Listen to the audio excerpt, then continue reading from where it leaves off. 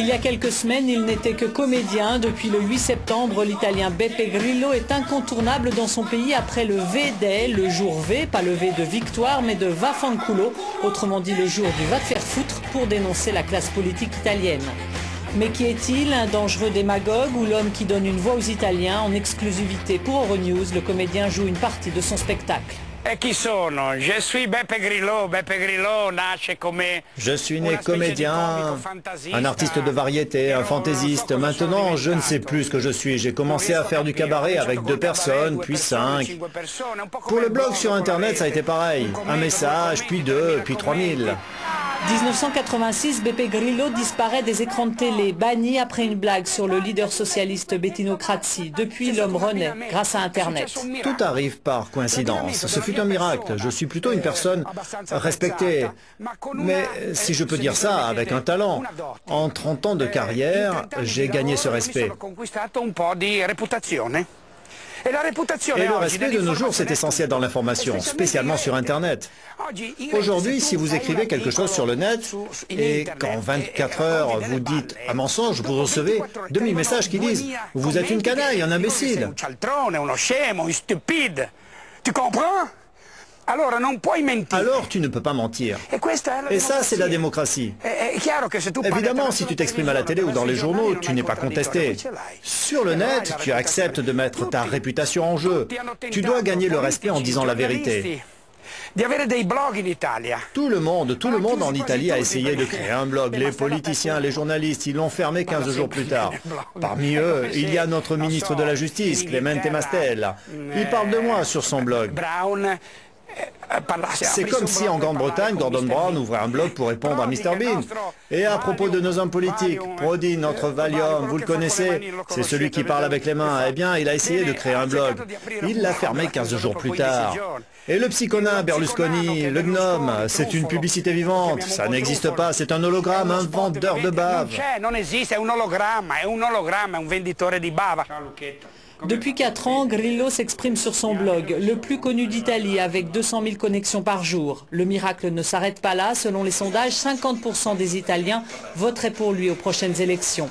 Alors le comédien de 59 ans a appelé à plusieurs manifestations dans 250 villes du pays et 30 autres dans le monde. Plus de 300 000 signatures ont été récoltées. Ce jour V que nous avons organisé le 18 septembre, c'est une pétition populaire, mais réalisée d'une manière très officielle, constitutionnelle. Il y a eu un million et demi de personnes présentes, des jeunes gens, sans violence, sans un drapeau. Le mécontentement est né sur Internet. Internet vous donne la possibilité de manifester d'une manière non violente depuis chez vous. On a une marche en continu sur notre site beppegrillo.it. Allez voir. Vous allez sur le jour V et vous allez trouver une marche réalisée avec des petits avatars. Oui, ils défilent. Les avatars sont des petits personnages. Ça ressemble à un jeu débile.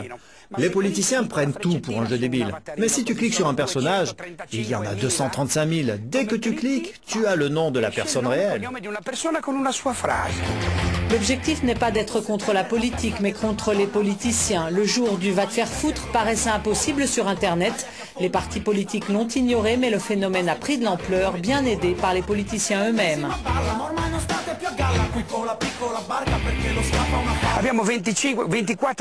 On a 24 condamnés parmi les députés.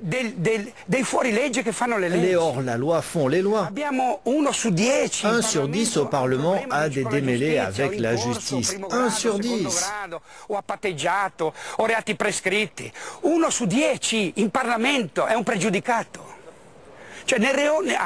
Dans le Bronx, c'est 1 sur 15. Le Bronx a peur de notre Parlement. Alors, on a créé cette pétition en trois points. Un, on dit non aux parlementaires condamnés. Je pense que c'est normal, évident. Deux, on dit non aux parlementaires avec plus de deux mandats consécutifs. Deux mandats, c'est dix ans. En dix ans, ils doivent avoir trouvé le temps de faire la différence, dix ans. Et puis, troisième point, des élections directes. Les candidats doivent être élus directement par les citoyens. Vous choisissez quelqu'un et vous l'amenez au Parlement. Mais finalement, Grillo, il est de droite ou de gauche Mais ce raisonnement n'a plus lieu d'être. Je vais te casser la figure. Non, je plaisante. Il n'y a plus de droite et de gauche. L'événement du jour V a surpris la classe politique. Les politiciens l'accusent d'être démagogue, populiste, d'ignorer les lois. Certains ont dit que ces phénomènes de masse sont dangereux et qu'ils ont provoqué les pires choses de l'histoire.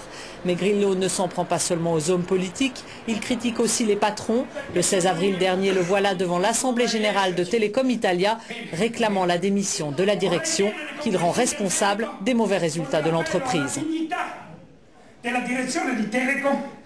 Dimettetevi, fate questo gesto.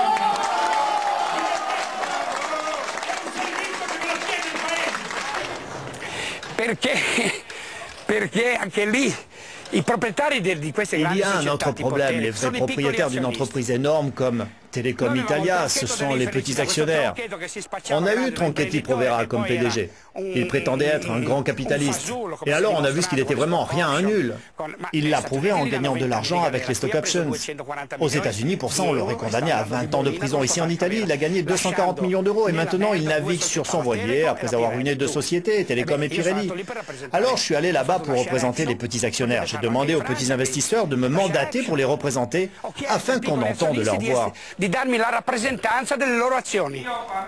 La célébrité de Beppe Grillo a débordé les frontières. En 2005, Time Magazine l'a élu parmi les 37 héros de l'année. Il a été le premier comédien invité au Parlement européen où il a présenté son initiative du jour Va te faire foutre.